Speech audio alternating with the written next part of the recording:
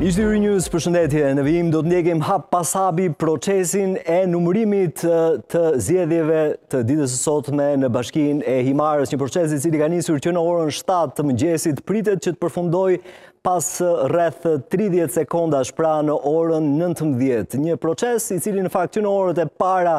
të tij është shoqëruar gjithashtu edhe me pretendime nga ana e opozitës përsa i përket 6000 banuesve të bashkisë së Himarës, të cilëve i kishte skaduar karta e identitetit dhe në këtë mënyrë nuk kanë mundur dot që të votojnë. Ka reaguar PBDNJ nëpërmjet zotit Vangjel Dule, menjëherë ka pasur edhe një reagim nga ana e kryetarit të KQZ-së, zotit Celibashi, i cili tha se ky pretendim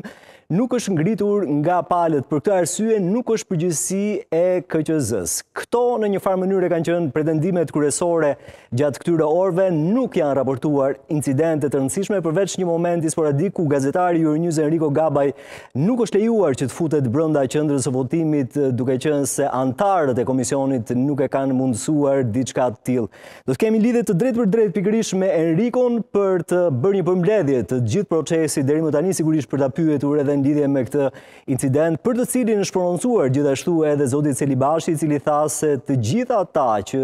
e kanë pamundësuar raportimin e mediave do të mbajnë përgjegjësi. Enriko të përshëndes. Të lutem të bëjmë një përmbledhje të gjithë asaj që ka ndodhur deri tani në bashkinë e Himarës, ke qenë në disa qendra votimi, mund themi se Ora shënon nëntëmbëdhjetë, pra ka përfunduar procesi zyrtar, megjithatë ligji parashikon se nëse do të ketë banorë ende jashtë qendrave të votimit, ato do të vijojnë rregullisht procesin. Më thuaj, çfarë ke mundur të konstatosh gjatë këtyre orëve?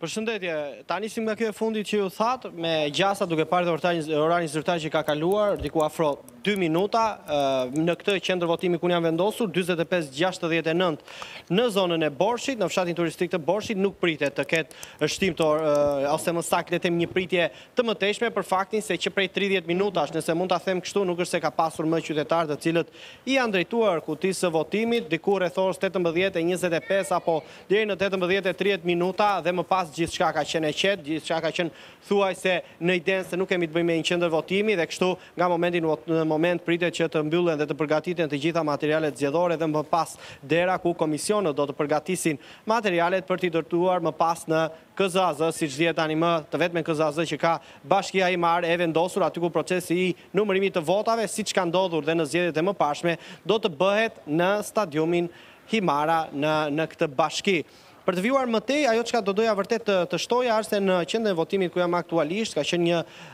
atmosferë e qetë, do ta quaja unë, apo më saktë jo problematike. Kamera Euronews Albania ka transmetuar dhe pamjet pa koment në momentet kur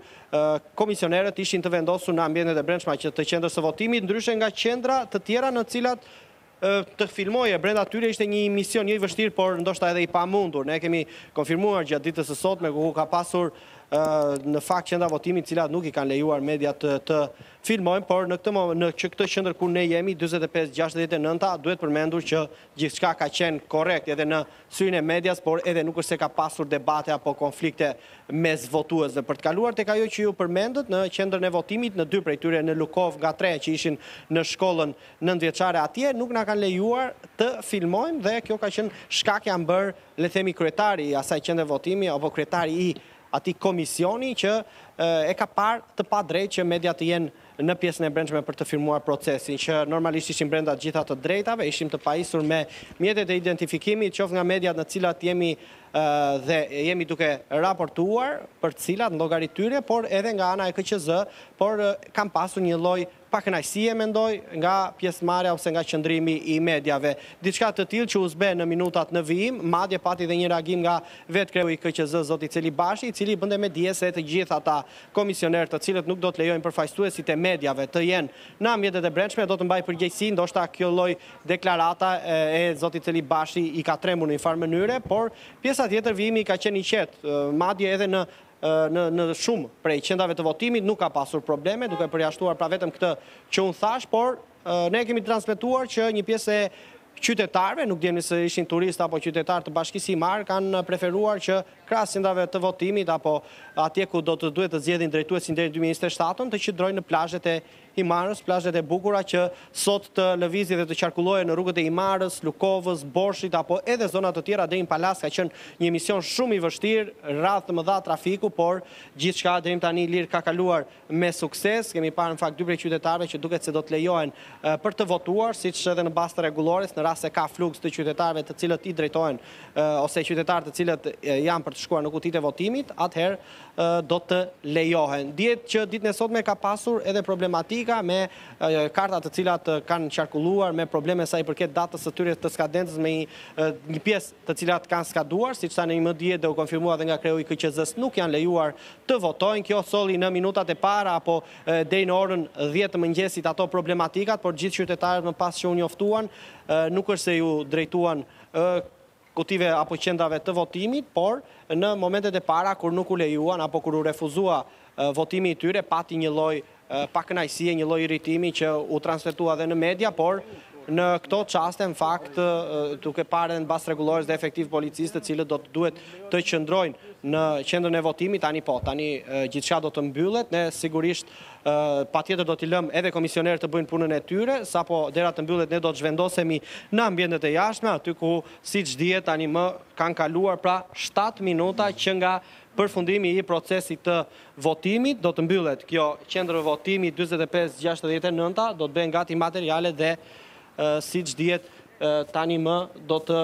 zhvendosen apo do të transportohen drejt KZAZ-së në Himarë, ku do të nisë më tej në orët e mbrëmjes, ndoshta kur të mbërrijnë të gjitha kutitë, siç dihet tridhjetë e gjashtë qendra votimi, një pjesë e tyre në zona të largëta, të mos harrojmë zonat e lumit, ka rrugë të cilat janë vërtet të aksesueshme, por pjesa sa i përket bregut duhet, ndoshta do të ketë vonesa në krahasim edhe me dy mijë e njëzet e treshin me katërmbëdhjetë majin për faktin edhe të trafikut, Tejet të rënduar që në orët e pasdites një pjesë e turistëve apo një pjesë e pushuesve do të duhet të kthehen nga jugu për t'u zhvendosur qoftë drejt kryeqytetit apo zonave të tjera, ndaj me gjasa nuk do të ishte e habitshme ose në rast se do të vonohej shumë procesi i nisjes së numërimit të votave. Por deri më tani, të paktën këtu ku jemi aktualisht e konfirmojmë që gjithçka ka shkuar korrekt. Po Enriko, falimderit shumë, isha me Enriko Gabajn nga Borshi aty ku pas ti duket qartë, dera është mbyllur, ka përfunduar orari zyrtar, nuk ka qytetarë të cilët duan që të shprehin vullnetin e tyre,